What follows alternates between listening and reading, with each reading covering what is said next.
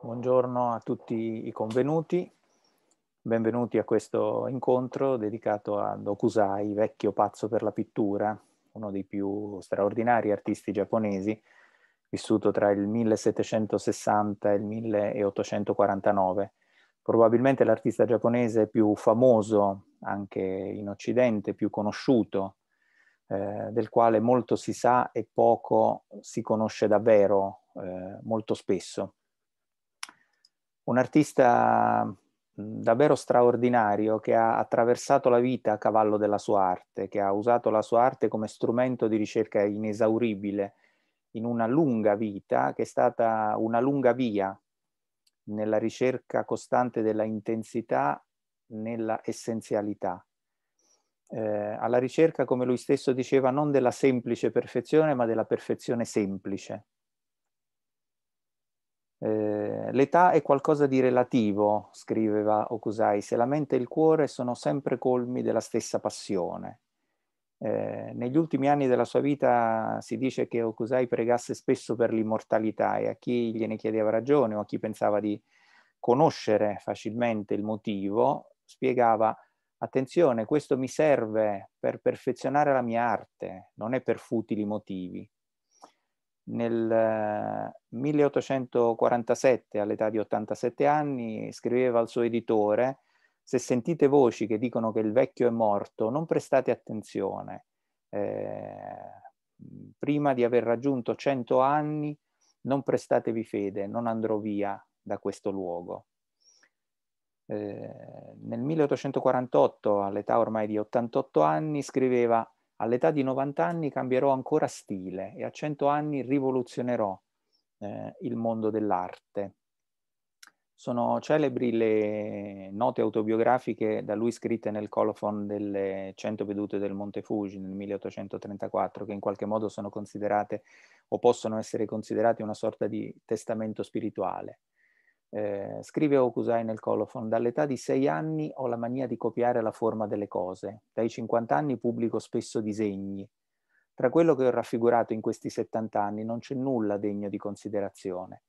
A 73 anni ho un po' intuito l'essenza della struttura di animali e uccelli, insetti e pesci, della vita di erbe e piante e perciò a 86 anni progredirò oltre, a 90 anni ne avrò approfondito ancor più il senso recondito e a cento anni forse avrò veramente raggiunto la dimensione del divino e del meraviglioso. Quando ne avrò 110, anche solo un punto o una linea saranno dotati di vita propria. Se posso esprimere un desiderio, prego quelli tra lor signori che godranno di lunga vita di controllare se quanto sostengo si rivelerà infondato. Dichiarato da Mangi, vecchio pazzo per la pittura. Eh, Gacchio Rogin, eh, il vecchio pazzo per la pittura, il titolo di questa conferenza è il vecchio pazzo per la pittura, è in realtà il nome d'arte che Okusai tra i diversi pseudonimi che hanno caratterizzato eh, e contraddistinto le fasi anche di trasformazione e di evoluzione della sua vita, Okusai ha scelto di utilizzare per quelli che sono eh, da lui stesso considerato come gli anni della maturità, eh, pseudonimo che lo accompagnerà come tratto distintivo fino alla morte, vecchio nel senso di maturità appunto, di aver attraversato le esperienze della vita, pazzo, la follia, questa immersione totale nell'attività di ricerca attraverso la sua arte, attraverso la pratica della sua arte, che è caratterizzata o contrassegnata appunto dall'immagine stessa della pittura. Eh, sempre in lotta, una, come lui stesso scriveva, una lotta per la ricerca di una linea perfetta, di un punto perfetto, sempre alla ricerca perché, eh, come lui stesso diceva, il mondo è in costante movimento e nessun momento può essere veramente decisivo. Solo grazie a uno sforzo di, di costante concentrazione e costante attività l'artista per Okusai poteva sperare di perpetuare un numero sufficiente di attimi per riuscire alla fine a dare un'immagine fondata dell'universo. Eh, viene in mente Van Gogh che potremmo dire se ne intendeva in, in, questo senso, in questa direzione, quando scriveva nelle lettere a Teo, se si studia l'arte giapponese e, e per lui l'arte giapponese era fondamentalmente Okusai, perché questo era, eh, era l'artista, queste erano le opere con cui lui era entrato effettivamente in contatto all'epoca, Se si studia l'arte giapponese si vede un uomo incontestabilmente saggio e filosofo e intelligente, che passa il suo tempo a fare cosa? A studiare la distanza dalla Terra alla Luna? No. A studiare la politica di Bismarck? No. Egli studia un solo filo d'erba, ma questo filo d'erba lo porta a disegnare tutte le piante e poi le stagioni, i grandi aspetti del paesaggio e infine gli animali e poi la figura umana. Egli passa così la vita e la vita è troppo corta per fare tutto. Vediamo, non è quasi una religione ciò che ci insegnano questi giapponesi così semplici che vivono nella natura come se essi stessi fossero dei fiori.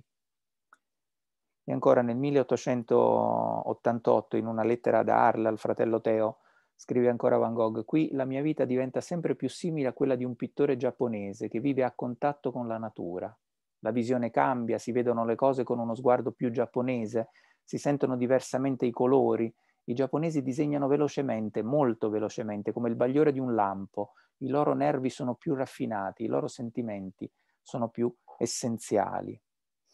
Ricordate Okusai, no? Attendo il lieto giorno in cui ogni linea, ogni punto avrà sicuramente vita propria, come scriveva appunto nel suo testamento spirituale in qualche modo.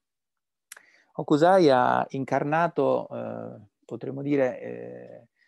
meglio di molti altri artisti hanno,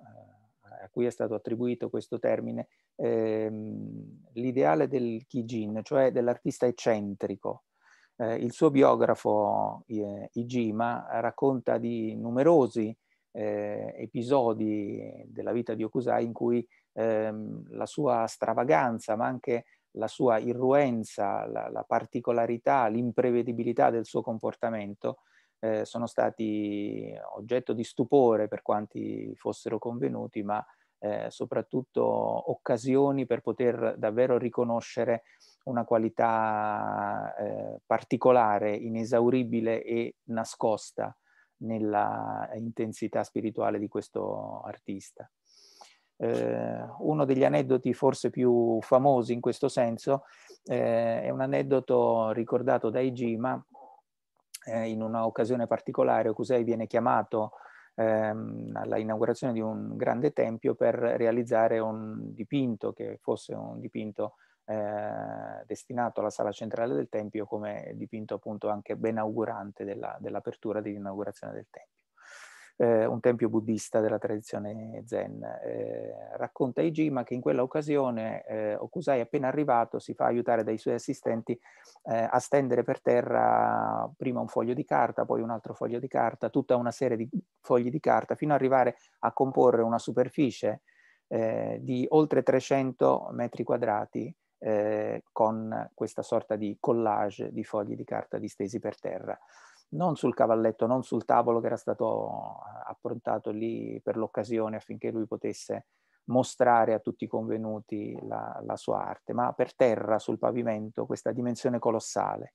E immediatamente su questo foglio di carta, appena terminata la disposizione dei fogli, Okusai prende a muoversi, tracciando dei segni in maniera eh, estremamente veloce, rapida, vigorosa, non con un pennello, ma con una scopa, eh, una scopa di canne che continuava ad inzuppare in un secchio di sake per l'occasione riempito di inchiostro. Il pubblico osservava, alcuni credettero di intravedere, intravedere le linee di un paesaggio, le curve delle montagne, gli alberi, i cespugli, ma Okusai si muoveva troppo rapidamente. Eh, terminato il lavoro, Okusai posa il suo pennello approntato per l'occasione e chiede di alzare eh, il foglio su un telaio e sollevarlo affinché tutti potessero vedere che cosa era accaduto eh, sul pavimento.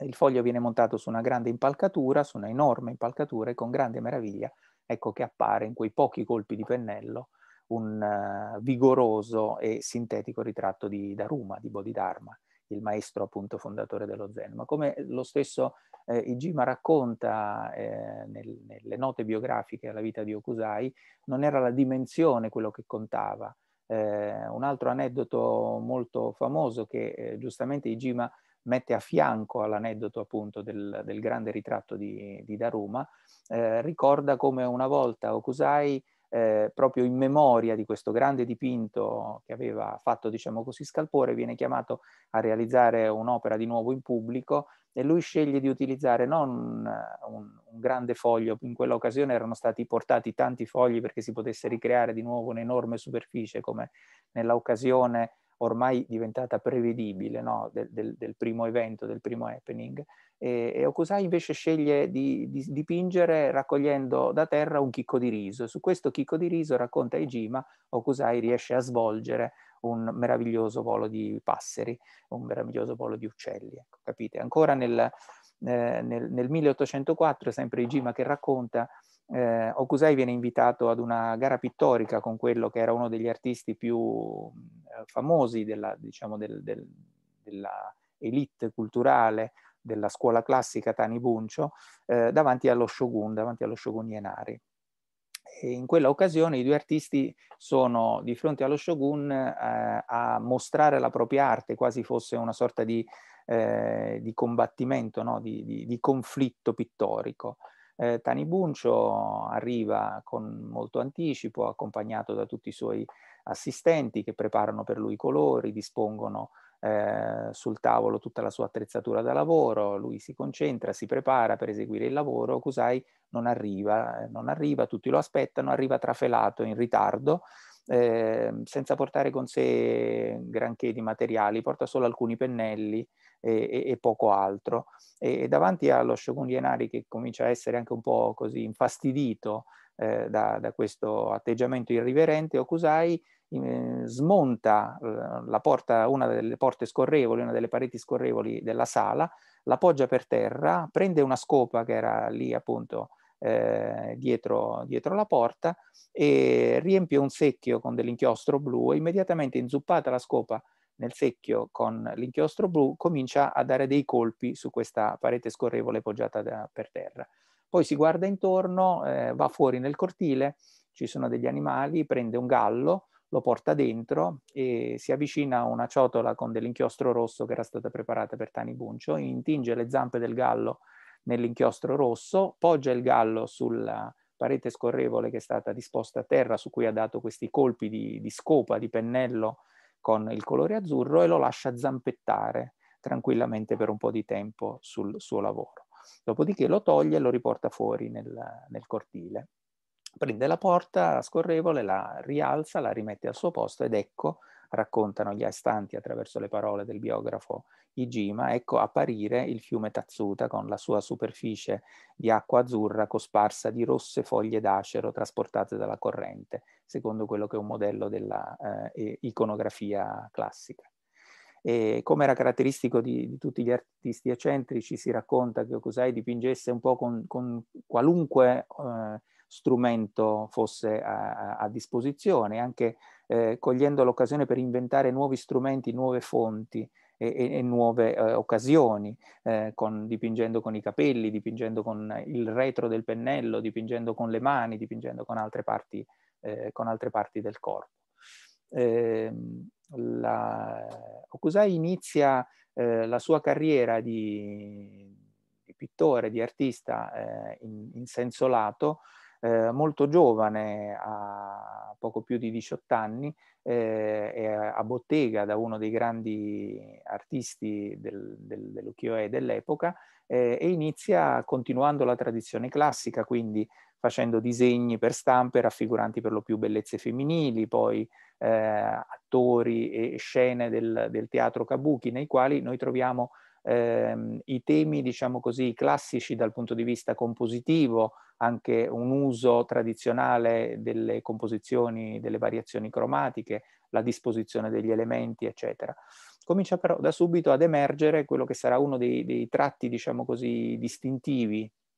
particolari, diciamo così, del carattere di Okusai che poi in qualche modo ritroviamo in generale nella sua arte, cioè una sottile ironia, un'ironia che riguarda eh, anche se stesso, è un'autoironia nel suo ruolo di artista, nel suo ruolo di interprete della realtà, nel suo ruolo anche di eh, eh, ufficiale eh, trasmettitore dei, dei, contenuti e delle forme del reale. Eh, attraverso la pratica dell'arte, attraverso la pratica della pittura.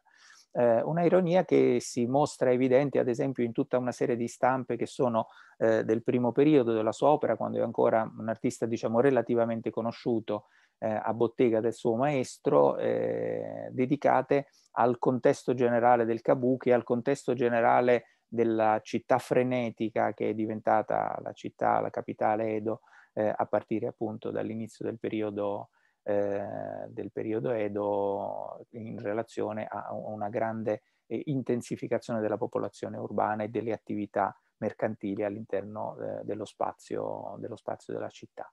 Eh, sono scene nelle quali si vede la, la, confusione, si vede la frenesia, si vede eh, anche spesso un modo eh, appunto ironico di rappresentare eh, il popolo, la massa, eh, il, que questa grande densità abitativa della città come eh, un'entità eh, senza testa, informe, no? nella, nella mh, acquisizione di eh, temi che sono dei temi diventati ormai sociali, di moda complessiva, piuttosto che nella riflessione individuale dei contenuti eh, dell'interpretazione del reale.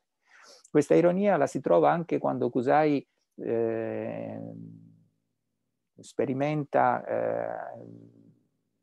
in maniera appunto eh, divertita, in maniera giocosa, eh, ad esempio uno dei territori più in voga all'epoca nella produzione delle stampe per una diffusione popolare, cioè eh, le stampe erotiche, no? dove Okusai produce tutta una serie di, di stampe destinate a una, appunto a una eh, diffusione ampia e popolare, nelle quali c'è una sorta di commento divertito rispetto a quelli che sono gli stereotipi anche in questo contesto ormai diffusi che fanno perdere il carattere stesso delle cose. Le stampe più interessanti in questo senso sono delle stampe eh, double face. Da un lato Kusai compone delle scene che sono apparentemente caste senza nessuna indicazione appunto del contesto erotico nello specifico, ma eh, per dire che questo è un'illusione, che dietro c'è eh, un gioco per, eh, per, i palati fini, insomma ecco solo per chi può, eh, è in grado di, di, guardare al di là dell'apparenza, sul retro queste stampe mostrano un'altra realtà, qualcosa che, che si nasconde dietro la forma, eh, la forma apparente appunto del reale. Eh, il secondo tema, diciamo così, importante che emerge mh, fin da, da, dalla prima opera di Okusai, eh, quando è ancora un artista eh, che lavora appunto a bottega di altri grandi nomi, di altri grandi artisti dell'epoca, è una straordinaria abilità tecnica. La straordinaria abilità tecnica si manifesta in particolare nell'uso di quelle che sono eh, le caratteristiche specifiche della, eh, del, del, della xilografia, cioè eh, le stampe che eh, Okusai produce, partendo ovviamente da dei disegni, sono delle stampe eh, molto complesse fin dall'inizio dal punto di vista proprio della difficoltà tecnica di realizzazione della, della matrice di stampa. I suoi maestri, i suoi riferimenti sono a, a, a quest'epoca fondamentalmente due dei grandi artisti eh, del passato. Da una parte eh, c'è Utamaro, il grande maestro delle composizioni, il grande maestro che ha portato per la prima volta in maniera importante le figure fuori, diciamo così, dallo spazio canonico, producendo dei tagli, delle composizioni eh, imprevedibili e impreviste appunto nella, eh, nella, realizzazione, nella realizzazione appunto del, de, degli spazi e degli ambienti eh, abitati dalle figure. Poi Harunobu. Harunobu, il grande fondatore della tradizione della policromia nel, nell'ukiyo-e, nella, nella, tradizione delle stampe, eh,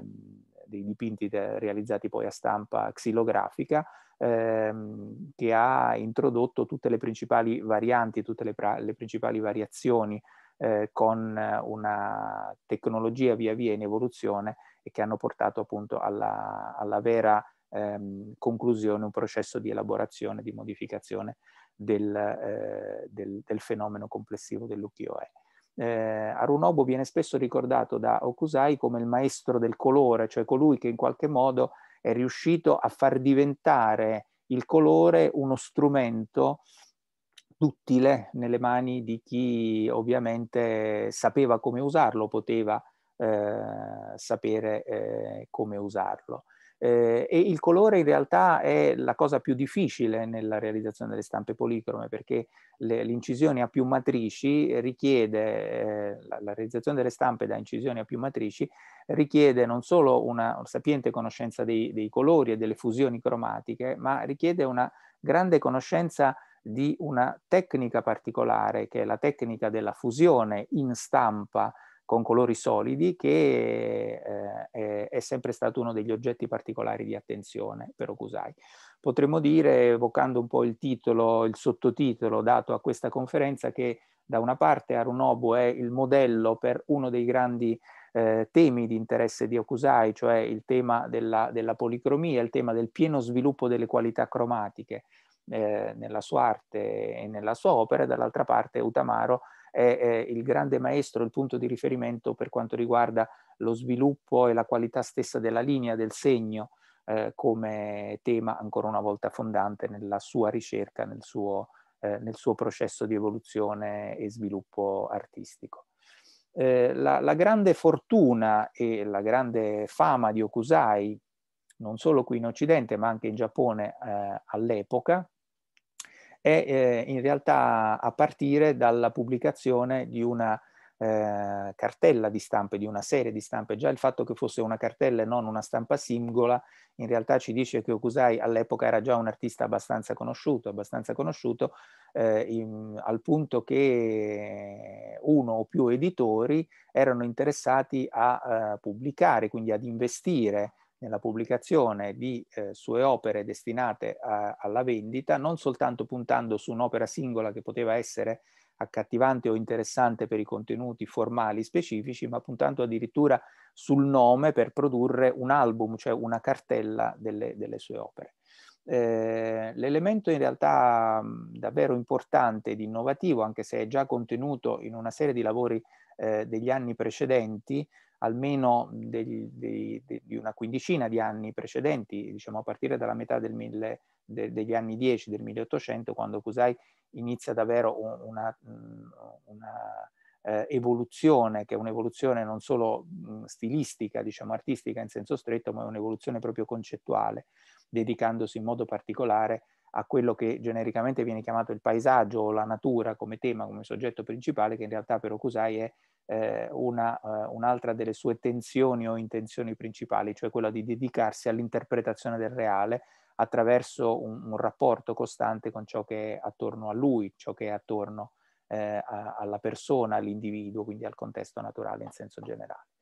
Eh, la serie in questione è la famosa serie delle 36 vedute del Monte Fuji, che in realtà avrà un tale successo anche di vendita che l'editore investirà in una seconda edizione, cioè chiederà a Okusai di realizzarne anche una seconda serie, che Okusai chiamerà in maniera interessante e significativa la serie delle vedute Ura, cioè posteriori, del Fuji posteriori, aggiungendo ancora un'ulteriore serie di stampe in una pubblicazione successiva, ulteriori 10 stampe, oltre alle 36 della, della prima serie.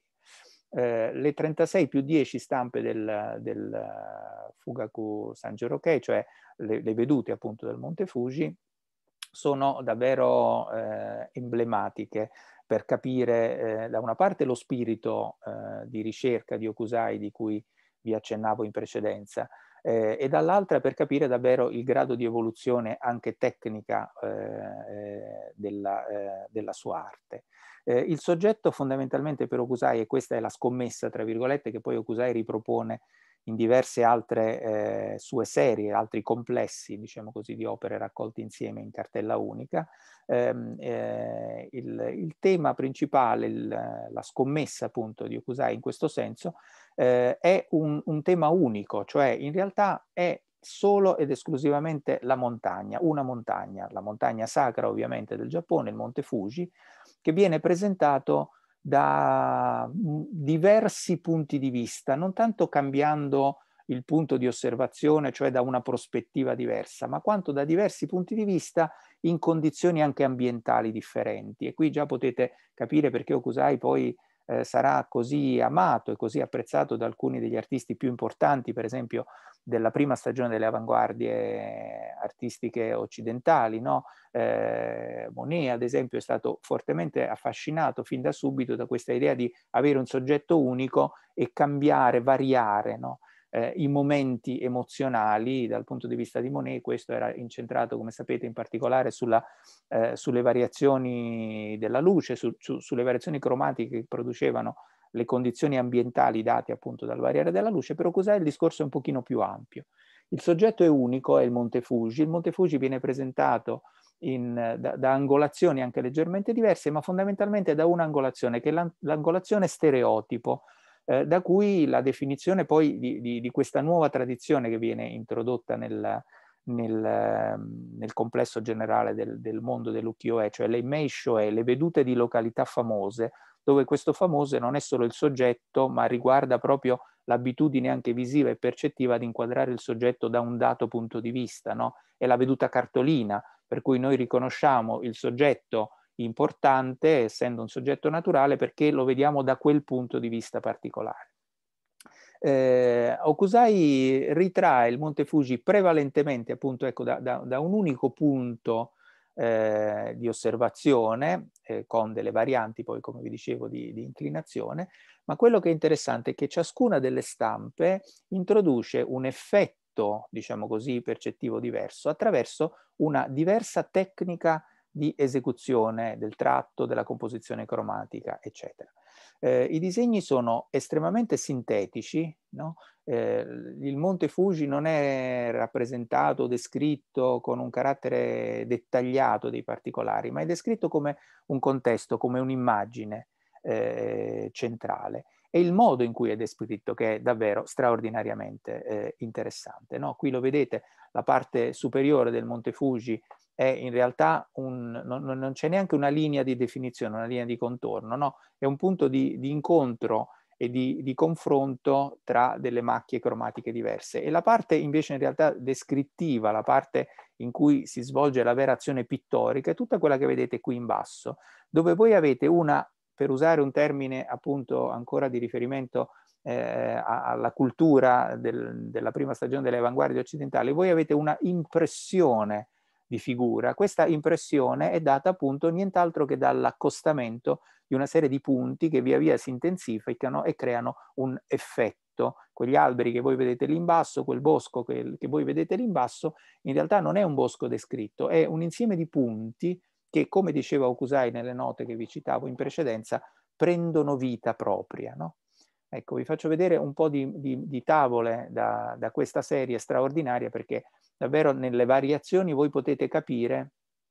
come eh, l'intenzione di Okusai vada molto al di là no? Della, eh, del, del, soggetto o del tentativo di mostrare una abilità eh, tecnica o una qualità stilistica. Faccia parte piuttosto di una ricerca, una ricerca di eh, modalità differenti di approccio alla comprensione del reale e alla rappresentazione del reale, che Okusai cerca di mettere insieme in questa sorta di prima summa del, della sua intenzione artistica, no? in questo tentativo di mostrare in che modo, di fronte anche a, allo stesso attimo, allo stesso momento, allo stesso oggetto, no? alla stessa realtà, alla stessa condizione effettiva del reale, ci possano essere molti modi di manifestare il proprio sentimento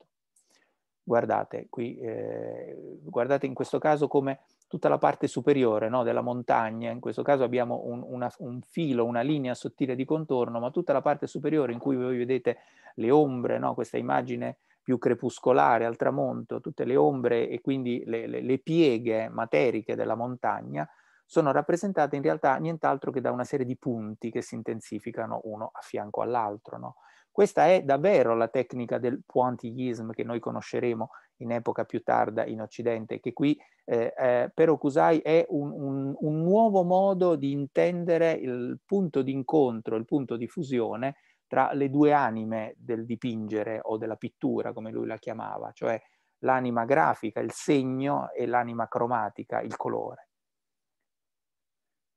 eh, al, al, punto che molte delle stampe, guardate per esempio tra queste due, no, che è la stessa stampa, molte delle stampe vengono eh, virate, cioè Okusai è talmente è talmente preso da questa ansia di dimostrare che ci sono infinite possibilità ulteriori, no? che produrrà delle, delle, delle, tavole in più, delle tavole in più che verranno poi stampate in delle uh, ulteriori successive serie, no? Eh, che andranno ad inserirsi, come dire che non, non ha mai eh, fine, non ha mai, è, è inesauribile la possibilità di varianti e di variazioni cromatiche nelle quali emergono magari dall'ombra del basso alcuni alberi, della parte bassa alcuni alberi, alcune piante, si intensificano le nuvole, cambia l'atmosfera attraverso una variazione cromatica, eccetera. No? Eh, eh, o, o, in generale si producono dei, dei, paesaggi in cui il vero soggetto del paesaggio ovviamente non è ciò che è rappresentato, ma è il modo in cui eh, l'artista eh,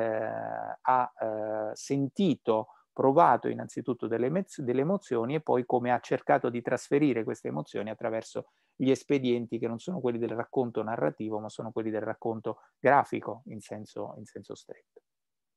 Eh, una parte importante delle tavole che intanto sto facendo scorrere in modo che vediate anche proprio la differenza no, sostanziale, una parte importante delle tavole eh, ha il Monte Fuji come soggetto in maniera meno, posizionato in maniera meno evidente rispetto alle prime che vi ho fatto vedere all'inizio. No? Ecco, qui lo vedete dov'è il Monte Fuji. Il Monte Fuji è semplicemente questa linea che è qui sul fondo. Il soggetto di questa tavola è il Monte Fuji, ma il Monte Fuji e quindi il soggetto principale è inserito, integrato in un complesso in cui in questo caso l'idea della composizione cromatica per punti è sostituito invece da questo eh, aspetto principale dato dall'incontro delle linee, no? vedete anche come per esempio questa linea richiama e viene ripresa dalle linee del, eh, della rete del pescatore. No?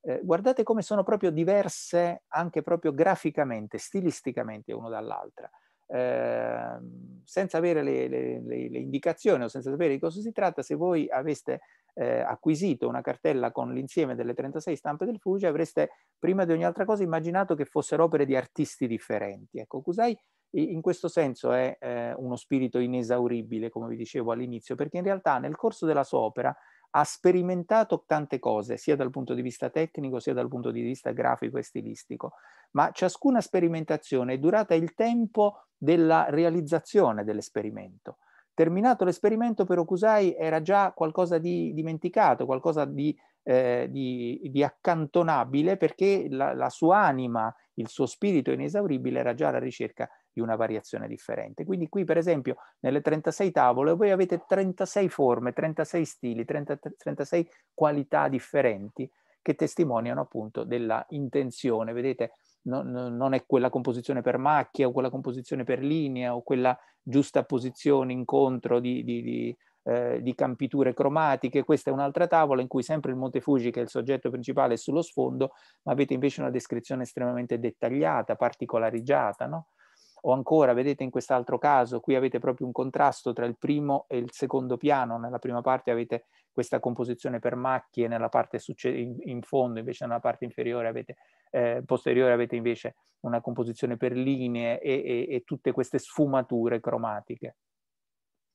ancora, sempre per farvi vedere. Eh, ovviamente anche questa, che è forse l'opera non solo più famosa di Okusai, ma l'opera più famosa in Occidente del, della storia dell'arte giapponese, senz'altro, è parte della serie delle 36 vedute del, del, Monte Fuji. No? Il soggetto è il Monte Fuji, ma dov'è il soggetto? Il soggetto non è in primo piano grande, è piccolo laggiù nel fondo. Il vero elemento in primo piano è questa sorta di gigantesco artiglio, no? questa onda in primo piano, che non ha niente a che vedere graficamente o come segno con quanto abbiamo visto in precedenza, cioè non è composta per macchie di colore, non è composta per punti, non è composta per linea, di nuovo un altro tipo di, di, di struttura compositiva, perché è un, alt, è un, altro esperimento di questo racconto multiforme eh, di, di, Okusai. No? E, e, più, e, in più c'è ovviamente questa condizione, questa dimensione dinamica, no? questa condizione di dinamismo all'interno della composizione che ne fa eh, un elemento di, di, di particolare eh, fascino e particolare rilievo. Eccolo qui, guardate dove questa è una delle stampe che ha per soggetto il Monte Fuji, dov'è? Più piccolo di così scompare, no? sullo sfondo, eh, e, e immerso in queste sfumature, in queste variazioni cromatiche. Ancora, guardate, no? Eccolo qui il Monte Fuji, sempre sullo sfondo. Ancora, guardate qui il gioco per esempio tra la sagoma del Monte Fuji e questa, questa grande, questo grande tronco che ormai sta diventando assi, travi, eh, lavorato dai, dai, falegnami, dagli artigiani, che, ri, che riprende questo movimento eh, del, della sagoma del Monte Fuji e poi da una parte qui, una parte qui ci sono le, le, le nuvole no, che emergono e producono questo movimento eh, sinuoso da, attorno al Monte Fuji, dall'altra parte queste nuvole che invece sono i, i fuochi degli artigiani che si spostano nell'altra parte della composizione.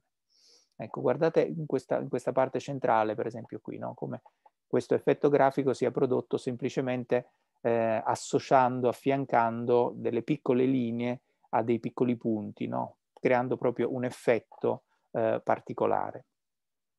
Aggiungete a questo che tutte le sfumature cromatiche che voi vedete, cioè il fatto che non ci siano dei colori piatti, un blu, un rosso, un giallo, ma delle eh, varianti, no? I, I, colori eh, degradano l'uno nell'altro, tecnicamente è qualcosa di estremamente complesso da ottenere perché le matrici da stampa, la, la, la produzione xilografica prevedeva appunto che la matrice eh, per ogni singolo colore venisse inchiostrata in quel colore e sovrapposta alla matrice inchiostrata prima e stampata in precedenza sulla carta, sulla, sul, diciamo, sullo, sullo, stesso prodotto che piano piano andava ad intensificarsi. Quindi tutte le sfumature cromatiche prevedono una sapiente conoscenza di ciò che andrà a prodursi sovrapponendo in una stratificazione fino anche a 8, 10, 12, 15 matrici con colori diversi, sovrapponendo i colori e producendo delle infinite piccole variazioni intermedie in questo senso Kusai è stato un grande tecnico anche del colore, perché tutte le matrici che poi lui andava a disegnare direttamente,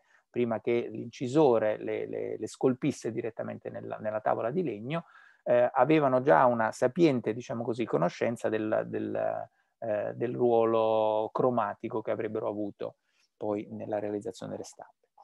Eh, su questo stesso filone Okusai produce tutta una serie di altre serie di stampe che sono straordinariamente interessanti. Eh, una per esempio delle più interessanti è la serie prodotta, mm, eh, pubblicata tra il 1833 e il 1834, come vedete, che è la serie dedicata alle, alle cascate famose del Giappone. Anche qui, come per il Monte Fuji, abbiamo questa idea di base, cioè un soggetto unico, in questo caso la cascata, in realtà, in realtà qui sono delle località famose, quindi sono anche eh, ripresi dei movimenti particolari di getti d'acqua eh, particolarmente apprezzati nel contesto del paesaggio naturale, ma non è questo quello che interessa a Okusai, lo, è l'occasione, diciamo lo spunto. La cascata è il soggetto unico, ogni tavola della serie appunto delle cascate eh, mh, è un'occasione per poter eh, introdurre delle variazioni di stile, delle variazioni grafiche che sono l'oggetto principale dell'attenzione e dell'interesse di Okusai. Guardate, no, qui, qui, sembrano artisti completamente diversi, no? qui avete un certo tipo di struttura compositiva, qui ne avete un'altra, eh, qui ne avete ancora un'altra, no? in questo caso le linee sono l'elemento strutturale principale, c'è questa forte verticalità, qui invece c'è questa esplosione di punti che vedete nella parte bassa, quindi la parte anche più graficamente più interessante, più significativa è data proprio da questa Ehm, eh, esplosione di punti nella parte, nella parte bassa della composizione. Qui avete un altro livello, cioè in realtà la forma principale, che è la forma della, della cascata, eh, è l'unica parte non toccata in realtà dall'inserimento cromatico, cioè il foglio è bianco, il foglio è il colore neutro che voi vedete emergere, quindi in realtà tutte le, tutte le parti di disegno, di stampa che poi vengono sovrapposte le une alle altre, sono quelle che vanno attorno a creare il contorno da cui emerge la forma della cascata. No? quasi come fosse una, un effetto di composizione per ricavo. E ancora, guardate, sempre parte della stessa serie, effetti straordinariamente diversi, fino ad arrivare a dei punti, anche questa fa parte sempre della stessa serie, a dei punti in cui la, la parte, diciamo così, di riconoscibilità, la parte eh, di rappresentazione tendenzialmente realistica o tendenzialmente verosimile, eh, è su una soglia davvero estremamente sottile. Se voi prendete la parte principale, cioè tutta questa parte centrale qui, la rappresentazione vera e propria della cascata e togliete per un attimo il, il contesto paesaggistico che è messo attorno, capite che è un, un soggetto davvero fortemente astratto, no? profondamente eh, significativo eh, e anche un po' inquietante se vogliamo come immagine. Non a caso, per esempio, eh, soprattutto questa serie, ma molte delle opere di Okusai sono state poi eh, oggetto di grande attenzione, di grande stimolo e fascino per eh, tutta la produzione di una, una, grafica, diciamo, moderna e contemporanea in Occidente, che poi è andata a finire anche nella, nella, nella graphic novel, nella produzione del, del, dei disegni con una grafica eh, intensificata destinati poi ai fumetti, alle storie illustrate, uno dei grandi maestri del, del, del, disegno grafico italiano, Sergio Toppi, si è fortemente ehm, ispirato all'opera di Okusai, in questo, in, su, soprattutto su questa linea sottile tra eh, parte della composizione che conserva una visibilità e una riconoscibilità e parte della composizione che ormai sta sconfinando in una dimensione eh, astratta. Una terza serie interessante che possiamo citare sempre in questa ottica, in questa direzione, è la serie delle Shokakumeiko Kiran, cioè le, le, le ehm,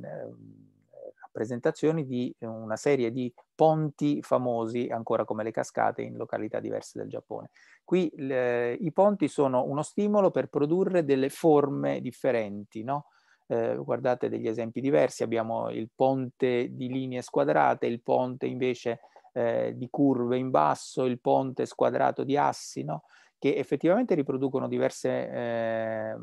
modalità costruttive, diverse forme anche della tradizione classica eh, nella costruzione dei ponti paesaggistici in, in Giappone, spesso integrati nell'arte della composizione dei giardini, ma eh, sono soprattutto per Okusai l'occasione per fare uno studio ancora una volta sulle forme più che sui, eh, sui soggetti rappresentati o sul contenuto dei soggetti rappresentati. Eh, altra serie interessante che potiamo, possiamo citare in questo senso è la serie del, degli oceani, dei mari, della sapienza, della conoscenza. È una serie straordinaria dedicata al mare in cui Okusai torna eh, ancora una volta su, su questo eh, lavoro di, di, ricerca e di intensificazione della composizione delle immagini attraverso elementi diciamo tendenzialmente astratti, quindi punti, linee, macchie, campiture cromatiche, eccetera, e aggiunge a questo anche un altro elemento eh, straniante che è la variazione cromatica dai contesti, diciamo così, dell'abitudine, per cui eh, nella maggior parte delle stampe voi avete come colori dominanti i gialli, i verdi, i marroni, pur essendo il soggetto principale il mare, no? Quindi è perché è di notte, è perché è alla luce delle lampade, è perché in un contesto particolarmente tempestoso, eccetera però questi colori sono i colori sui quali in realtà Okusai lavora per produrre un effetto eh, emozionale della composizione. Ecco, questo è un altro aspetto molto interessante, l'uso dei colori per produrre delle emozioni, cioè con una consapevolezza che le gamme cromatiche e la giusta posizione appunto delle, delle gamme cromatiche potesse essere un oggetto, uno strumento per produrre delle condizioni emozionali. Non a caso eh, uno dei grandi compositori, dei grandi musicisti occidentali, Debussy, è stato fortemente affascinato dall'opera di Okusai al punto che ha dedicato una, una sua composizione, anche importante, la Mer, proprio eh, all'effetto, all'efficacia di questa, di questa idea eh, compositiva in Okusai, è stato fortemente influenzato proprio da questa, da questa tensione emozionale prodotta dai colori, dalla contrapposizione dei colori eh, riscontrabile nelle opere di Okusai. La serie degli Oceani di Sapienza è molto interessante in questo senso, oltre a ritrovare gli elementi appunto grafico-compositivi di cui parlavamo prima, per esempio guardate qui questa grande balena che è ovviamente il soggetto principale no, a cui, attorno a cui si stanno radunando tutte le barche dei pescatori, che in realtà è disegnata, potremmo dire, attraverso ciò che non è rappresentato, ciò che non è disegnato, attraverso questa eh, fusione ed esplosione di punti. Davvero questa è una grafica pointilliste a, a, pieno, a pieno titolo. Oppure ritroviamo, vedete, ancora questa, questa idea della forza delle linee con i colori stranianti di cui vi parlavo in precedenza, eh, su un modello compositivo come quello della grande onda della serie delle 36 vedute del Fuji. Questo è un tema che si ritrova anche in altre opere importanti, anche in altre serie importanti di Okusai eh, che fanno parte, come tutte le serie principali di cui stiamo parlando adesso, in realtà del, già della stagione della maturità di Okusai, cioè quando Okusai è ormai eh, libero dai vincoli della committenza e quindi si può permettere non solo di scegliere i soggetti, ma in qualche modo anche di interpretare questi soggetti in relazione a quella che è una finalità propria e non una finalità che può essere dettata dalle esigenze della committenza o dalle esigenze del mercato, come magari poteva essere stato all'inizio della sua carriera e in generale era per la maggior parte degli artisti eh, suoi, suoi contemporanei. Questa è un'altra serie molto interessante, una serie, in realtà Okusai ne produce due di serie su, questo, su questa idea, una serie dedicata ai grandi poeti, grandi poeti della tradizione cinese e della tradizione giapponese raccolti insieme, dove Okusai compone eh, singole tavole, ogni tavola è dedicata ad un poeta. Nella tavola il poeta viene in parte anche rappresentato graficamente, ma viene soprattutto associato ad un elemento naturale in un momento di rapporto, di, diciamo, di relazione con l'elemento naturale, che per Okusai è, dal suo personale punto di vista, quindi dal punto di vista di Okusai, è eh, la migliore interpretazione del contenuto emozionale, del contenuto poetico dell'opera principale del poeta in questione, secondo appunto il punto di vista di chi ha ascoltato quella poesia, di chi ha letto quella poesia. Quindi qui vedete l'emozione non tanto che Lipai in questione, nel, nel, nella tavola in questione, grande poeta della tradizione classica cinese, non tanto l'emozione, il tentativo di rappresentare l'emozione di Lipai di fronte alla cascata, ma l'emozione che Okusai ha provato nel leggere la poesia di eh, Lipai che parlava della cascata. Questo è un tema su cui Okusai tornerà anche con alcune proprio delle ultimissime opere, eh, proprio quelle che sono una sorta di testamento grafico eh, spirituale le, proprio nell'anno della sua morte. Qui vedete ancora lo stesso poeta Lipai di fronte alla cascata, no? dove quello che viene rappresentato non è altro che un contesto emozionale attraverso, eh, attraverso i segni, o per esempio questa che è dedicata a un altro grande poeta della tradizione eh, classica, un grande autore, potremmo dire, della tradizione classica cinese, che è Chuanzi, eh, rappresentato nel famoso aneddoto della, del, del, sogno della farfalla. No? Ecco, Okusai eh, è davvero molto attento, soprattutto negli ultimi anni e anche negli ultimi mesi della sua vita, a questa, a questa tensione emozionale, a questo tentativo di trasferire la tensione emozionale del, nelle sue opere. Eh, altra serie interessante, sempre per ehm, diciamo, completare questo, questo primo filone dedicato in particolare um, alla, alla, grande esperienza cromatica eh, negli anni della maturità di Okusai, eh, è una serie dedicata ai racconti, ai racconti popolari attraverso, eh, qui attraverso appunto l'evocazione delle storie, eh, della narrazione in famiglia, dei, dei racconti, ra, le, le, storie raccontate dalla Balia, no? le storie della narrazione in famiglia, e poi come vedremo più avanti invece nelle storie della, della tradizione un po' più eh, mitologica. E, e qui vedete eh, in realtà ci sono dei, dei contesti, ci sono dei, dei, pezzi, diciamo così, che contestualizzano dei racconti che sono associati a queste tavole, che sono descritti, che sono eh, presentati nella parte di scrittura che accompagna la, la tavola grafica, però soprattutto c'è un soggetto principale. Il soggetto principale in realtà non è quello che riguarda la storia in senso stretto, il soggetto principale è sempre un espediente grafico particolare, in questo caso sono queste linee di fumo che vedete nel mezzo, che tolte da tutto il contesto descrittivo, capite, sono la parte non solo più potente e dinamica della composizione, ma anche la parte più astratta. Ed è questo l'aspetto davvero interessante di Okusai. Come vi dicevo all'inizio, lui stesso scrive, quando un punto o una linea potranno essere talmente pieni, talmente compiuti da avere finalmente una vita propria, cioè non essere vincolati più alla necessità di rappresentare qualcosa che l'occhio debba necessariamente ricondurre ad un contesto, ma abbiano la loro, por- la loro forza, la loro potenza. No? Eh, in questo senso molto vicino a, a quanto scriveva Kandinsky nel suo famoso punto linea e superficie, dove non a caso c'è ancora una volta un, un, una memoria, diciamo così, eh, evocata dalla, dalla, tradizione estremo orientale. Ecco, guardate anche in questo caso, no? ecco, qual è il soggetto principale? La storia racconta questo che vedete rappresentato qui, ma il soggetto principale, l'interesse di Okusai, è ancora una volta la composizione di queste linee che non a caso sono anche la parte non dipinta, cioè non incisa e non stampata e che determinano la composizione principale. O guardate eh, in questo caso, no? qui avete queste, eh, queste, carpe che risalgono eh, la corrente, e, e c'è proprio questa integrazione potente davvero tra le linee, da una parte c'è il, contesto descrittivo, ma dall'altra parte c'è la potenza che è liberata ormai dal contesto descrittivo. Questa liberazione, diciamo così, dal contesto descrittivo è eh, il, il, il tema dominante dell'opera di Okusai nella maturità ed è in realtà eh, in modo particolare segnata a partire dalla pubblicazione di una serie di stampe davvero straordinariamente interessanti che sono probabilmente le stampe meno conosciute di Okusai eh, in Occidente, che lo sono state anche per molto tempo eh, in Giappone.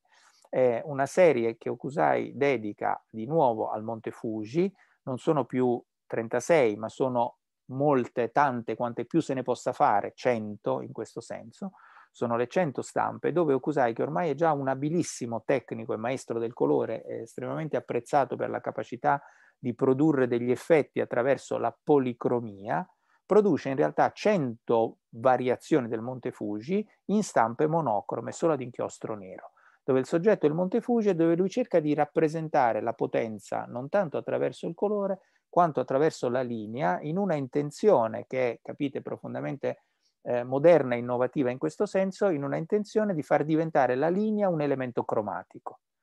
Vi faccio vedere alcune immagini, sempre tenendo presente il, il discorso fatto prima, cioè qui avete delle cartelle che raccolgono diverse stampe tutte insieme, all'apparenza stampe prodotte da mani completamente diverse perché ciascuna è diversa dall'altra come struttura compositiva e come effetto grafico. Ognuna è un esperimento. Okusai qui vuol dire, come già eh, vi dicevo in precedenza, vuol dire che ci sono molti modi di sentire, molti modi di raccontare la stessa cosa. E questo lo fa non riproducendo due immagini neanche simili tra di loro, due immagini uguali tra di loro.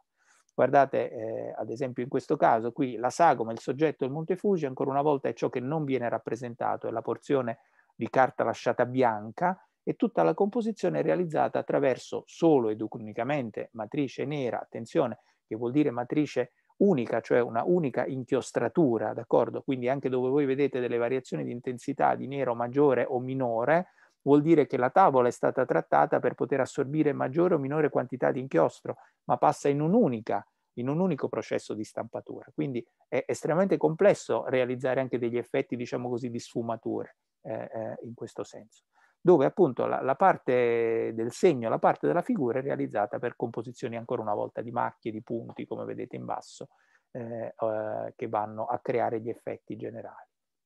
Guardate altri esempi, no? Cioè, qui avete invece queste sfumature di colore che portano fino all'axagoma, l'estrema semplicità, l'estrema essenzialità, quando una linea diventerà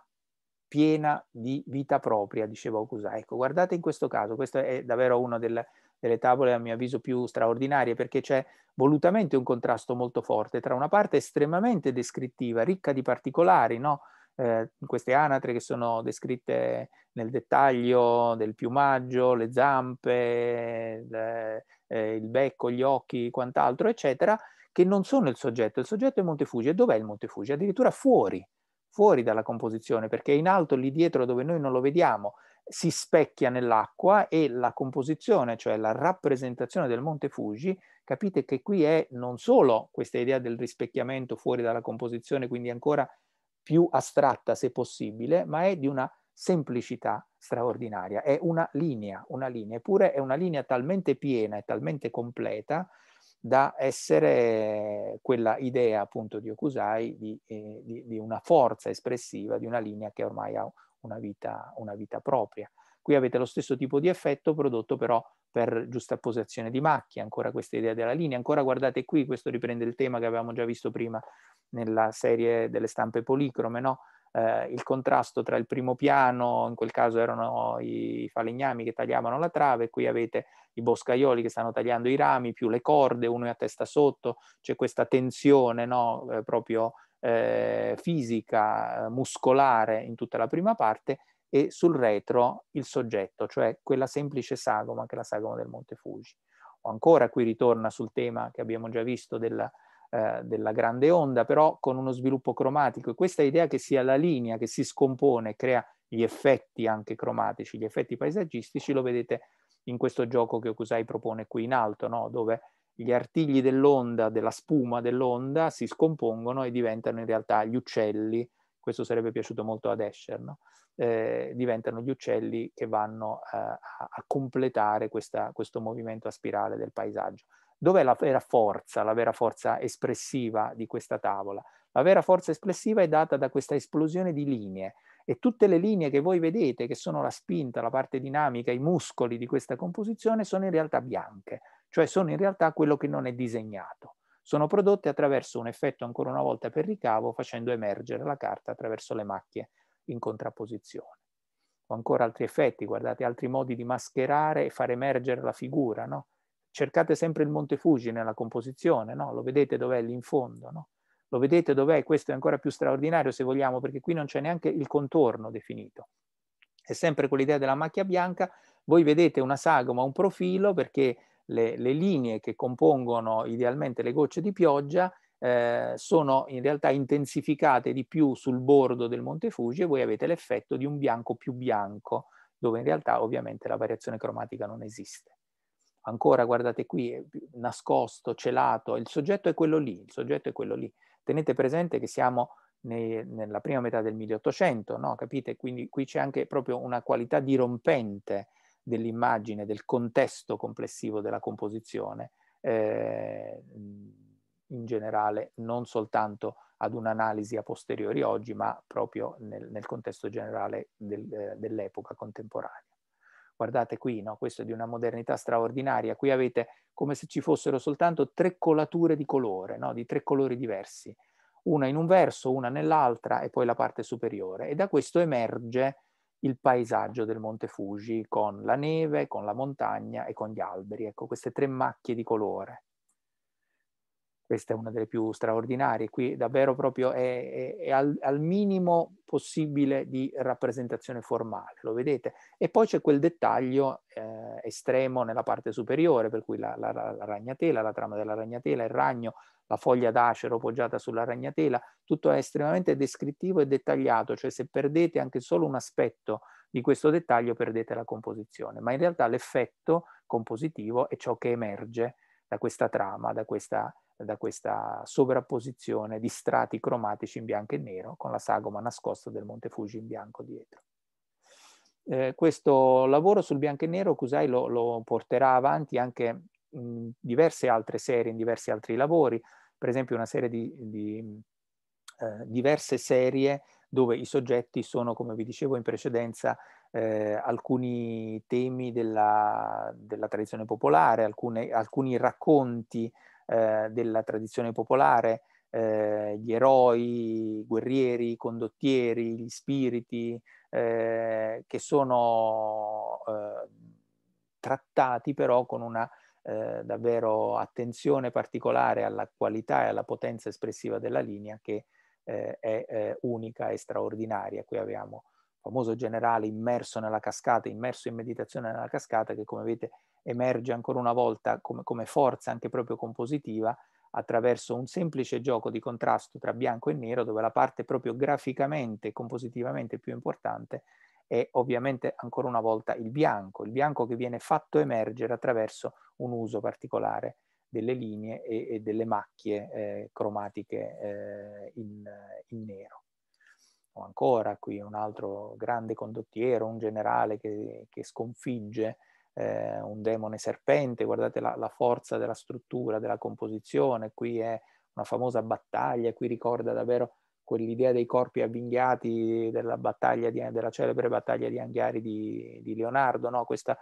no, non sapete neanche bene in che modo girarla questa composizione, è dritta così, va messa al contrario, le linee, le frecce no? che vanno in tutte le direzioni, sono questo contrasto di linee che danno la forza generale alla composizione voi avete la percezione di questo moto, di questo movimento enfatico attraverso semplicemente questi elementi tendenzialmente astratti che poi vengono configurati eh, nella, nella, forma riconoscibile.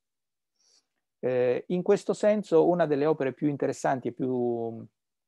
eh, illuminanti anche per comprendere lo spirito di Okusai è un, un'opera molto famosa, in questo caso forse è l'opera di Okusai più famosa, più famosa in realtà non tanto per ragioni proprie dell'opera quanto perché essendo stata stampata in grandissima quantità, queste opere ne sono arrivate anche in grande quantità in Occidente, eh, intorno alla metà del 1800 e poi soprattutto nella parte finale del 1800 fino agli inizi del 1900, perché se ne erano stampate così tante copie che questa carta era diventata anche carta da macero, quindi spesso eh, quando si spedivano in Occidente degli oggetti come delle porcellane, delle ceramiche, degli oggetti destinati al, al, alla prima stagione del mercato antiquario, intorno appunto eh, sulla soglia tra la prima e la seconda metà del 1800 in Occidente, soprattutto Parigi, Belgio, insomma queste erano le aree eh, dove c'era un commercio inter- fertile e interessante in questo senso, gli oggetti delicati venivano protetti, avvolti nel, nella carta di giornale, nella carta straccia dell'epoca in Giappone, cioè quella alla quale eh, si dava ormai poco valore perché ce n'era così tanta e così, ed era, aveva avuto una così enorme diffusione che non aveva più neanche eh, possibilità di mercato. E molte di queste carte straccia erano appunto eh, delle, delle, stampe della serie famosissima dei manga, che eh, è stata il veicolo proprio, il ponte per la conoscenza vera dell'arte grafica occidentale, eh, in, dell'arte grafica mh, eh, giapponese in, in, Occidente, anche se ripeto in forma in parte inconsapevole o mediata. Che cosa sono i manga? Letteralmente la pittura divertente, la pittura caricaturale, la pittura giocosa. No? Eh, in realtà quest'opera è concepita da Okusai con un titolo ancora più esemplificativo, cioè una sorta, come lui stesso scrive nel titolo ufficiale, è un repertorio destinato all'apprendimento delle questioni essenziali del dipingere, del dipingere per gli apprendisti, per coloro che stanno iniziando. D'accordo? Eh, è un progetto, un progetto enciclopedico che inizia nel 1814 eh, con la pubblicazione del primo volume dei manga e proseguirà in realtà fino eh, al 1849, l'anno appunto della, della, morte di Okusai, con la pubblicazione del tredicesimo volume e ci saranno addirittura un quattordicesimo e un quindicesimo volume pubblicati postumi perché raccoglievano già le opere che Okusai aveva preparato eh, pronte per, per la stampa. Quindi sono 15 volumi dove ogni volume è fatto da una grande quantità di pagine, ogni pagina è fatta da una serie di tavole, cioè nel senso che in ogni pagina ci sono strette nello spazio, proprio perché ce ne potessero stare molte, una quantità davvero eh, infinita, di, infinita, di, disegni.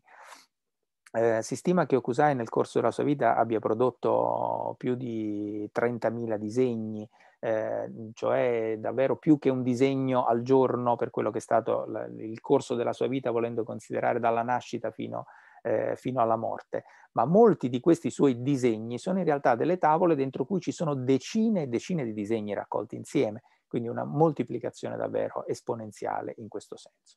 È un progetto enciclopedico nel vero senso della parola perché Kusai eh, concepisce da subito l'idea di realizzare una sorta di repertorio generale, di enciclopedia in questo senso, destinata, come nel titolo originale espresso appunto, a coloro che sono gli apprendisti che stanno iniziando questa strada, eh, una sorta di repertorio di tutto ciò che può essere disegnabile, quindi in realtà di tutto ciò che appartiene alla vita reale e anche al, al, al confine, diciamo così, della vita reale con il contesto del fantastico, delle storie, dei racconti della tradizione, della tradizione popolare. In ciascuna di queste tavole voi avete un soggetto, come può essere i movimenti del corpo, rappresentato in infinite forme, tutte caratterizzate da un'intenzione di estrema sintesi, semplicità nella rappresentazione e di imprevedibilità, cioè rappresentare possibili condizioni diverse. No?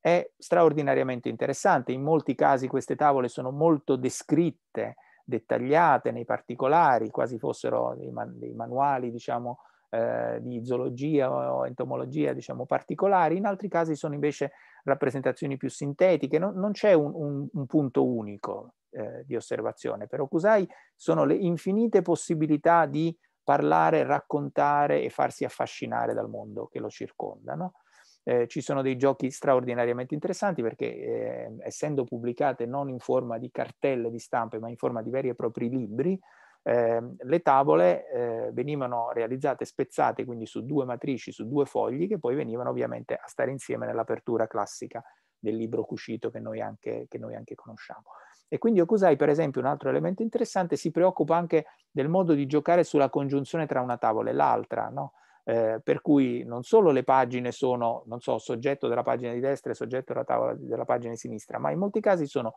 soggetto unico con degli elementi di congiunzione tra una tavola e l'altra, giocati in una maniera grafica che è estremamente moderna, estremamente eh, interessante dal punto di vista proprio del design eh, contemporaneo come vedete per esempio in questi casi. Soggetti più disparati, personaggi appunto del, dei miti, dei racconti popolari, semplici figure umane in contesti diversi, quindi in attività differenti, posizioni, movimenti del corpo, per cui può essere eh, la lotta piuttosto che eh, il, la corsa, piuttosto che l'attività motoria in generale, oppure la musica, la scrittura, eh, il vestirsi, il lavarsi, no? qualsiasi eh, occasione rappresentata in mille infinite sfumature. Eh, sempre tenendo un occhio di riguardo per eh, l'ironia di cui parlavamo all'inizio, no? eh, la, la, capacità di, di, guardare le cose in maniera giocosa, in maniera divertente e divertita. Divertente e divertita nel senso che è lui che si diverte, ma c'è anche una intenzione molto chiara ed evidente nell'opera di Okusai di usare eh, l'aspetto comico, l'aspetto divertente, l'aspetto caricaturale come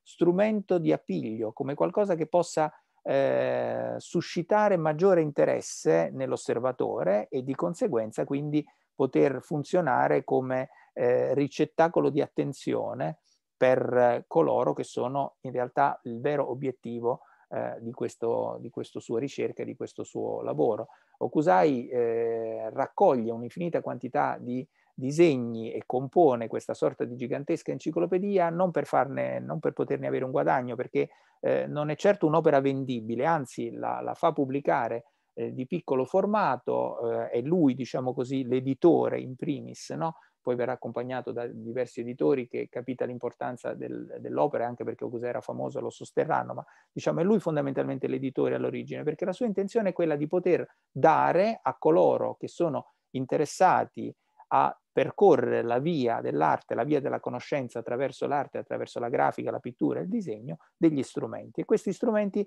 devono andare al di là delle difficoltà pratiche che eh, possono incontrare eh, nella, nel corso del loro apprendistato. Eh, questo, uno de, degli strumenti per superare queste difficoltà pratiche è appunto il gioco, l'ironia, eh, il, il divertissement eh, repertori di oggetti, repertori di figure, case, eccetera, eccetera. La, la, serie dei manga è sicuramente stata anche il veicolo principale per eh,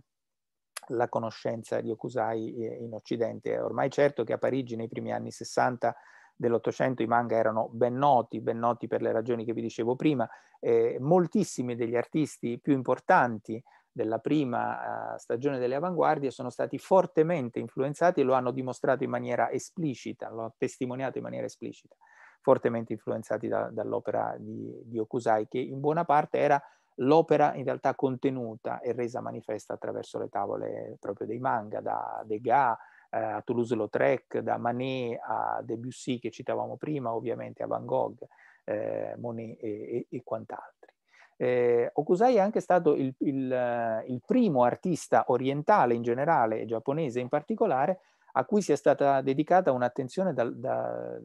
da parte della critica d'arte occidentale. Sono su Okusai le prime monografie d'artista, no? da quelle celebri dei, dei concours del 1896 fino ad arrivare eh, alla altrettanto celebre eh, biografia eh, d'artista curata e scritta da Faucillon nel 1914 che ha un sottotitolo interessante, evocativo in questo senso, Faucillon eh, chiama Okusai le fou génial du Japon moderno, cioè il, il, il, folle genio, il folle geniale del Giappone moderno.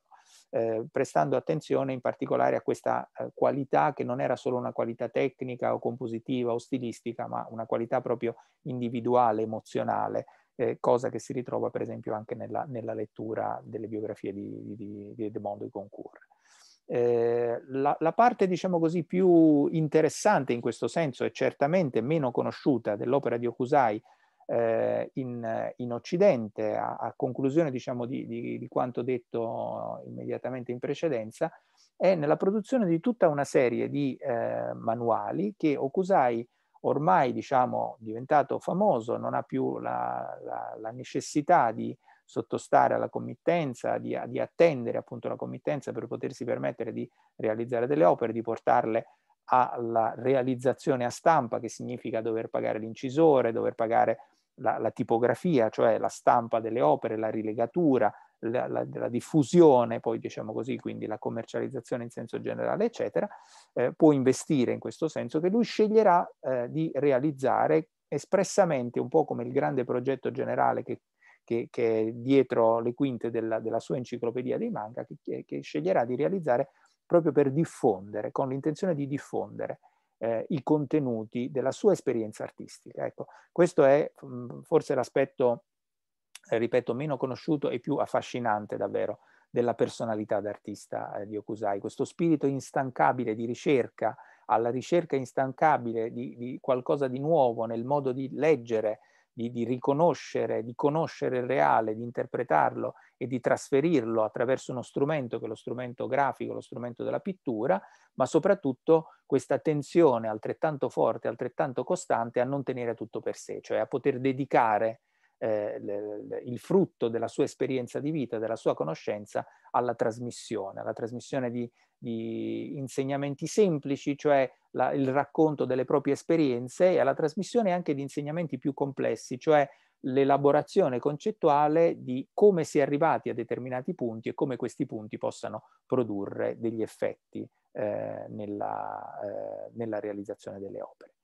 Eh, I manuali sono molti che Okusai produce e sono davvero straordinariamente interessanti in questo senso. Sono tutti caratterizzati dall'essere prevalentemente di piccolo formato, realizzati diciamo in uh, sostanziale economia di stampa e di, di produzione anche così nel, nel, processo complessivo, perché potessero avere una ampia diffusione, quindi potessero sostanzialmente costare relativamente poco, non per lui che li produce o per il committente ehm, per il, lo sponsor, diciamo così, che in alcuni casi interviene eh, a sostenere il, il, processo di produzione, ma proprio per l'acquirente, cioè colui a cui sono tendenzialmente dedicati. C'è tutta una serie di manuali molto semplici in questo senso, che sono vicini alla concezione dei manga, nei quali troviamo dei repertori, mh, spesso giocando, come vi dicevo prima, su, sull'ironia, sulla giocosità come, come, strumento di appiglio principale, questo è uno dei, dei più famosi, eh, l'apprendimento autodidattico della danza, dove lui usa la danza, il gioco della danza,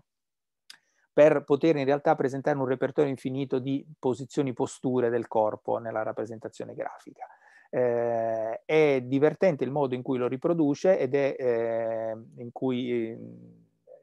realizza i disegni ma è divertente anche il modo in cui è concepito. Kusai gioca sul fatto che lui è già abbastanza famoso e conosciuto e quindi può essere che eh, degli apprendisti possano essere interessati a eh, guardare come il maestro insegna a disegnare, ma aggiunge a questo un ulteriore elemento, cioè il soggetto, e questo è esplicitato nelle note, diciamo così, di copertina, no? nelle note anche di promozione dell'opera, eh, il soggetto che si trova in tutte le pagine, in tutte le posizioni con cui si insegna, giocosamente questo è il, è il termine, no? si insegna a danzare, è in realtà un ritratto caricaturale di quello che era uno dei più famosi artisti eh, del teatro kabuki dell'epoca, che era un amico di Okusai, che usa, Okusai usa per poter portare, diciamo così, il, il, il fascino della notorietà dell'artista e trasferito in una forma caricaturale poter usare eh, un ulteriore eh, gioco, un ulteriore appiglio. Sono tanti i manuali concepiti in questa maniera, ehm, come repertori, repertori per esempio di, di oggetti, pettine, pipe, di posizioni, posture, attività,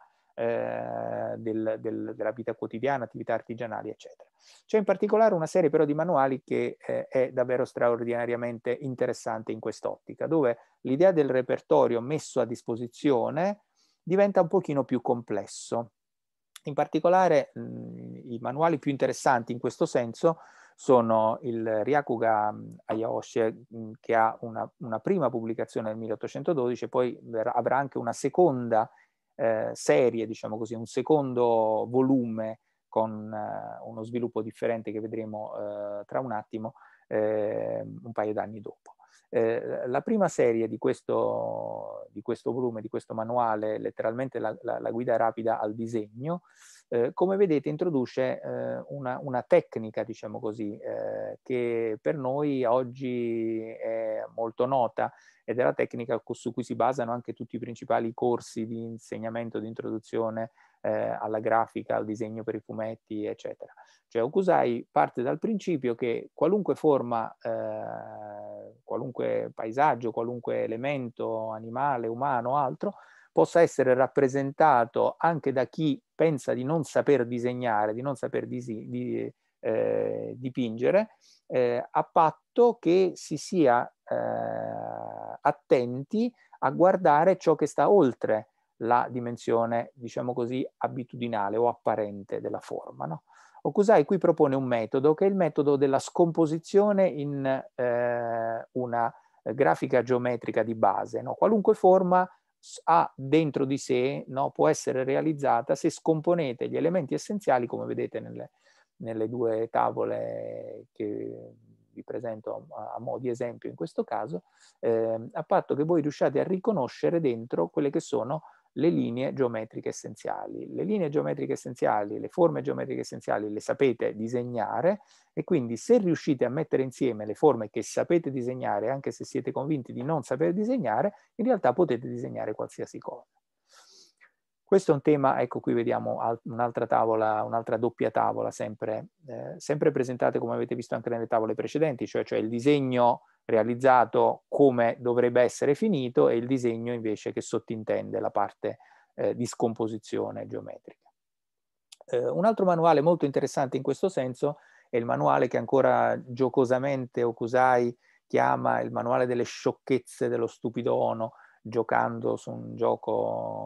onomatopeico, fonetico, eh, anche appunto nel, nella, nella, scelta del titolo, in cui voi avete più o meno la stessa idea, cioè qualunque cosa può essere eh, disegnabile anche da chi pensa di non poter disegnare, ma eh, il veicolo che Okusai inventa e propone in questo caso non è dato dalle forme geometriche semplici, ma è dato da, uh, da qualcos'altro, lo vedete nella parte superiore della tavola, no? eh, anche se tu non sai disegnare, sai scrivere. Se sai scrivere, sai comporre le linee essenziali della scrittura. Se prendi le linee essenziali della scrittura e le metti insieme, i tratti essenziali della scrittura, qualunque forma può essere scomponibile in tratti essenziali che compongono le parti conosciute della scrittura. Eh, questo ritorna nella seconda edizione, del, nella seconda serie in realtà della guida rapida al disegno del 1814, eh, in cui Okusei va addirittura oltre e propone dei disegni scomposti attraverso linee che sono le linee della scrittura, accompagnando queste anche con dei poemi, con delle storie raccontate, con delle poesie raccontate, che hanno una doppia funzione. Hanno per esempio anche la funzione di produrre come una cantilena, no? come un suono, un effetto mnemotecnico, cioè nel cantilenare una canzone che dice in maniera appunto giocosa spesso e eh, musicale ciò che è il contenuto della rappresentazione, voi memorizzate gli aspetti fondamentali che andranno poi scomposti nella parte del disegno. E qui vedete la sagoma generale della figura che in realtà è composta dalle parti essenziali del testo in una scrittura, in questo caso si usa una scrittura in forma corsiva, in questo caso si usa una scrittura in forma più stampatello, CAI, eh, regolare, eh, vanno a comporre appunto le parti essenziali del disegno, della parte de della figura rappresentata. Eh, un altro straordinario manuale in, in, in questo senso è eh, il, il, cosiddetto album eh, di, eh, di, pittura nelle tre forme, nelle tre forme. Qui Okusei ancora una volta si ispira alla, alla, scrittura, in particolare alle forme calligrafiche, alle tre forme fondamentali eh, della calligrafia tradizionale in Giappone, cioè la forma regolare, lo stampatello, la forma semicorsiva e la forma del corsivo pieno, e le usa per dire ciascuna cosa, ciascuna eh, ciascun elemento naturale, ciascun paesaggio, ciascun ambiente naturale può in realtà essere rappresentato secondo un tipo diverso di atmosfera eh, compositiva o grafica che corrisponde a quello che voi conoscete benissimo nella scrittura nelle diverse forme. Cioè potete scrivere un paesaggio in stampatello, potete scriverlo in forma semicorsiva o potete scriverlo in forma corsiva. E produce tutta un manuale, tutta una serie di tavole nelle quali singoli soggetti, singoli paesaggi o elementi o oggetti o figure in generale del, eh, del, dell'ambiente naturale vengono rappresentate ciascuna ripetuta nelle tre forme. Addirittura arriva a codificare eh, tre simboli grafici per rappresentare le tre forme con un, un grado di modernità davvero eh, notevole rispetto a quello che è un uso anche proprio eh, grafico-linguistico, se vogliamo, no? in un linguaggio contemporaneo, per cui avete il quadratino che corrisponde a quello che nella pratica tradizionale della scrittura è la scrittura in stampatello, cioè la forma squadrata, regolare, quella che ha un atteggiamento quadrato, potremmo dire, questo è il senso dell'elemento grafico. La forma di passaggio, no? di, di, di, di eh, rapporto e relazione tra lo yin e lo yang, lo uno e l'altro, che è rappresentato dai due triangoli punta contro punta, cioè il semicorsivo, e la forma in cui invece quello sviluppo quadrato del modo di sentire emozione, di rappresentare ciascun paesaggio diventa uno sviluppo fluido, uno sviluppo pienamente in, mentre lo sviluppo quadrato era uno sviluppo pienamente yang, viene rappresentato appunto con l'immagine grafica del cerchio.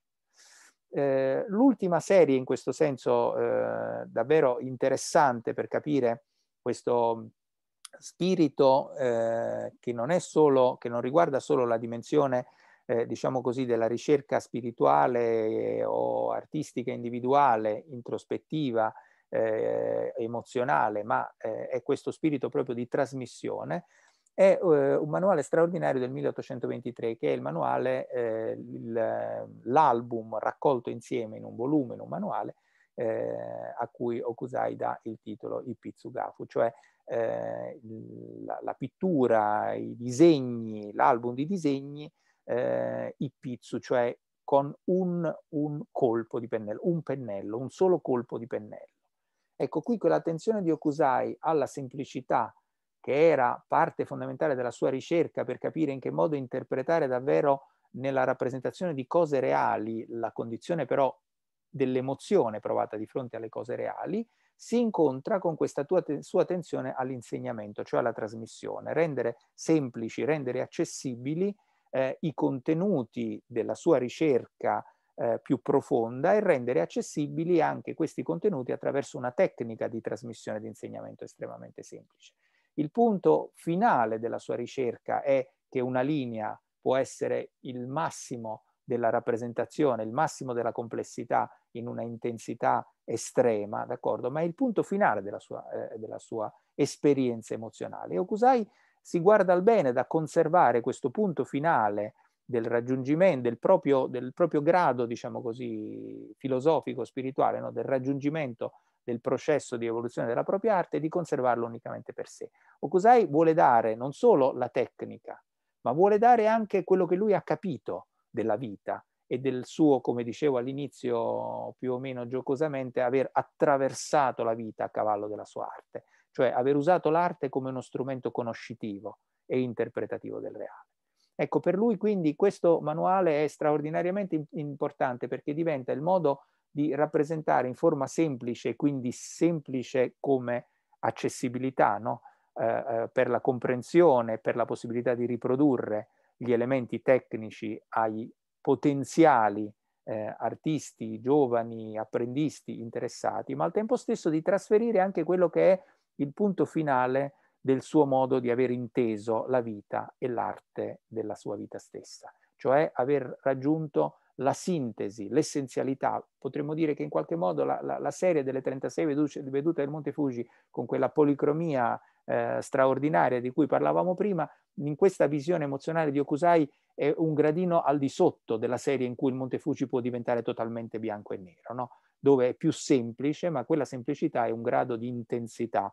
più eh, complessa, più complessa da realizzare, più complessa da comprendere per chi la realizza, ma ovviamente Okusai questo lo sa benissimo, più complessa da realizzare e da comprendere anche per chi lo guarda, lo vede, per l'approccio dell'osservatore. E questo è l'oggetto principale del suo, eh, del, del, suo manuale dell'interesse del, dell'Ipitsugafu. Disegni che rappresentano prevalentemente animali, ma anche paesaggi, montagne, elementi naturali in generale, disegni realizzati con un unico colpo di pennello, un'unica pennellata, senza che la punta del pennello si stacchi. Ecco qui, non so, prendete questo qui in basso per, per, per fare un esempio facilmente comprensibile, eh, toglieteci il contesto generale, lo vedete che sono sempre queste gru in volo, in posizioni diverse, eccetera, ma prendetelo isolatamente capite come il, la linea di confine, come vi dicevo in precedenza, tra figurativo e totalmente astratto è eh, davvero estremamente sottile, dove questa, questa figura qui in basso è ancora legata alla parte della figurazione del reale e dove invece in realtà è un segno grafico totalmente astratto. La potenza dal punto di vista di Okusai, la potenza grafica ed espressiva sta in questa dimensione davvero ormai quasi pienamente astratta, dove la, la, il legame con, con l'elemento riconoscibile, con la figura delle origini, è leggero, cioè nel senso non, non pesa più nella mente, nella memoria e sulle spalle dell'esecutore. L'esecutore può essere totalmente lanciato nella piena disposizione del suo animo. La piena disposizione del suo animo esplode in una forma completa e questa forma è una linea. Ecco, come dicevo all'inizio, quando finalmente potrò raggiunti eh, i miei ipotetici 110 o, o più anni, potrò arrivare al punto in cui un punto o una linea sono dotati di vita propria. E questo non riguarda solo una linea, perché per esempio tutta una serie di tavole di Okusai sono realizzate, eh, di questo stesso manuale, sono realizzate secondo lo stesso principio, la stessa concezione, ma con una macchia di colore. No? Ecco, prendete, qui lo vedete che sono dei, dei corvi su un ramo, ma prendetene uno, uno solo, prendete questo, isolatelo dal contesto dove avete capito per somiglianza e per vicinanza che è un corvo e capite dov'è il confine tra essere una pura macchia o la rappresentazione più totalmente essenziale e assoluta di quella forma senza che i vincoli stessi dell'apparenza eh, siano, siano, oggetto di peso.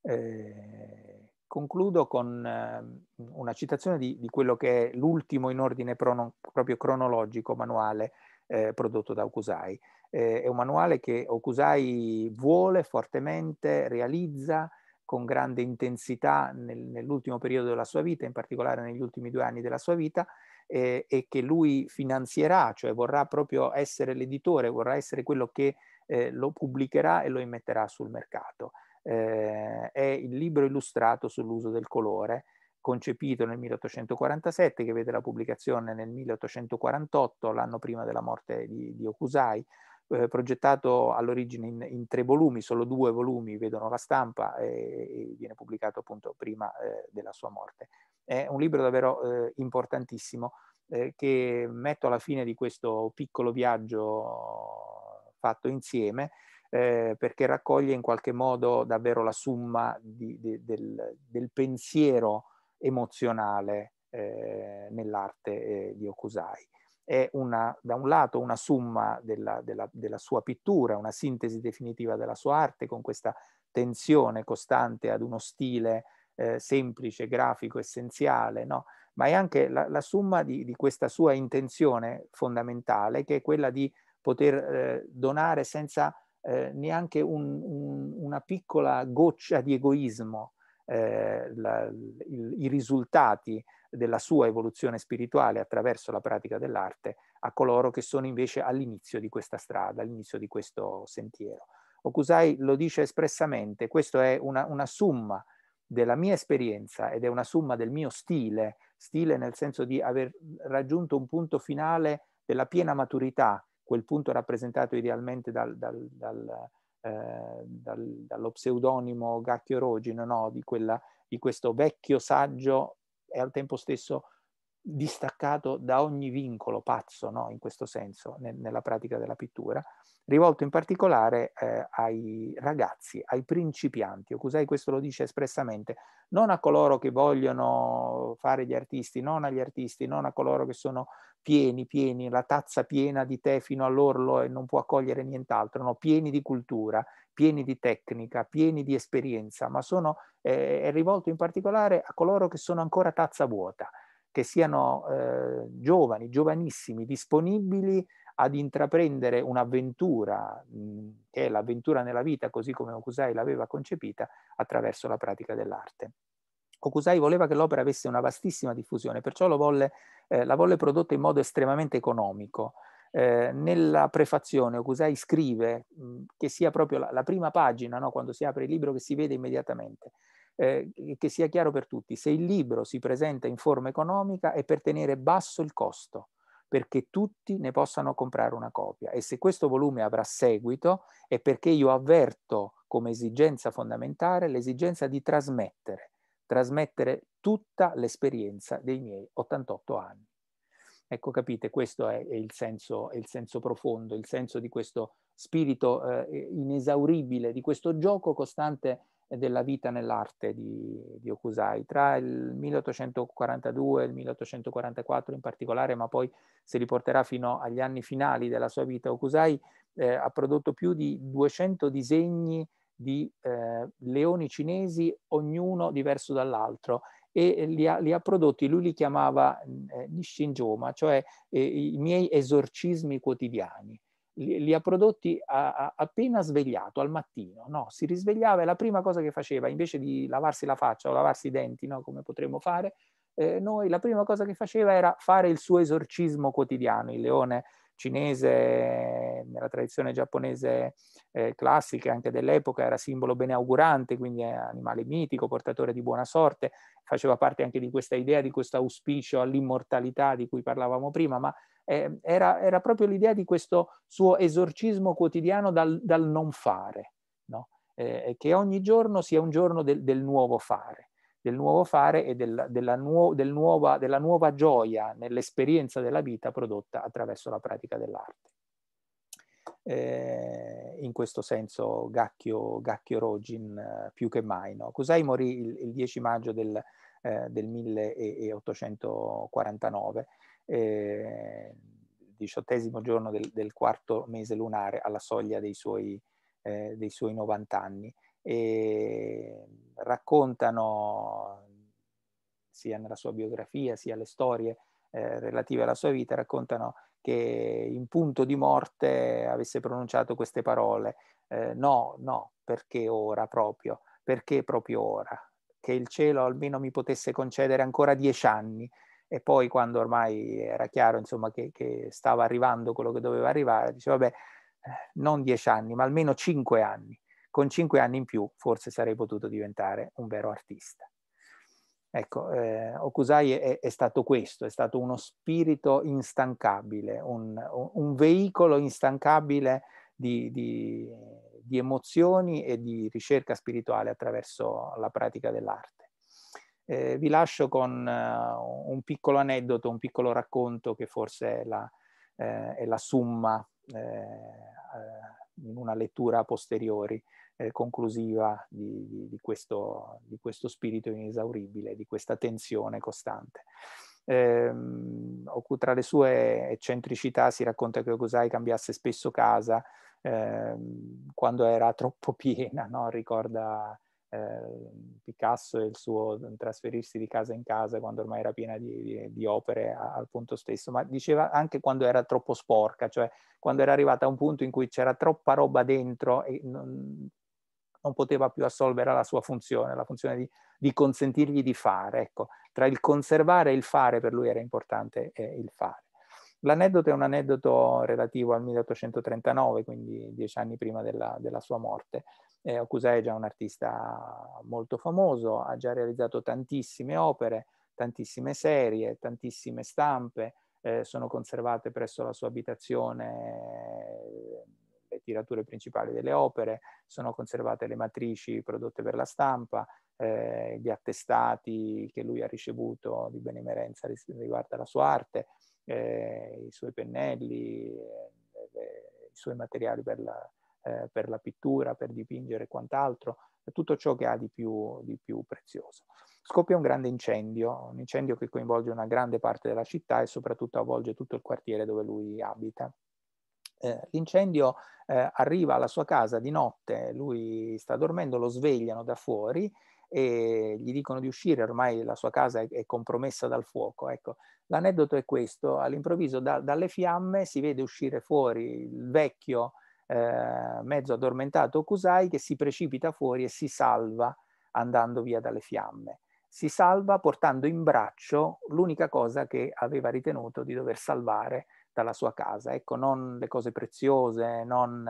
ciò che poteva avere un valore economico, non i suoi abiti, esce fuori eh, mezzo nudo, spogliato, a piedi scalzi, eh, non eh, la raccolta delle sue opere prodotta negli anni, cioè la testimonianza di quanto era stato grande fino a quel punto, ma con in braccio un fascio di pennelli. Ecco, questa idea, questa è l'idea di Okusai. I pennelli per poter fare ancora qualcosa di nuovo, non tanto per conservare o raccogliere quanto eh, era stato fatto fino a questo punto, poteva glorificare la sua esperienza eh, passata.